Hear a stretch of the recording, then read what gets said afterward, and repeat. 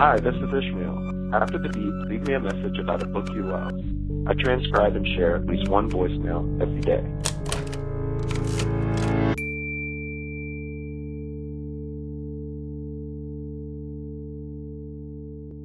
Hi, Ishmael. I'm calling in response to Joe Hanson's request for a book that changed how you feel about and see the natural world. The book that single-handedly altered the vista through which I see everything is Bill Bryson's A Short History of Nearly Everything.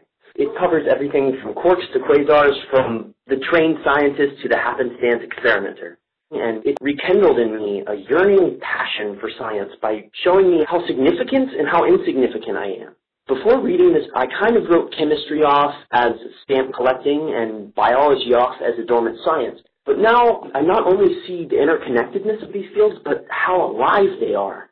I think it's a shame for anyone on this planet to misunderstand the scientific process. And this book is both thorough and approachable in its history, deeply introspective yet lighthearted. It reminds me how science isn't just an ideology to be written off. It's a practice, an art form still budding in its years.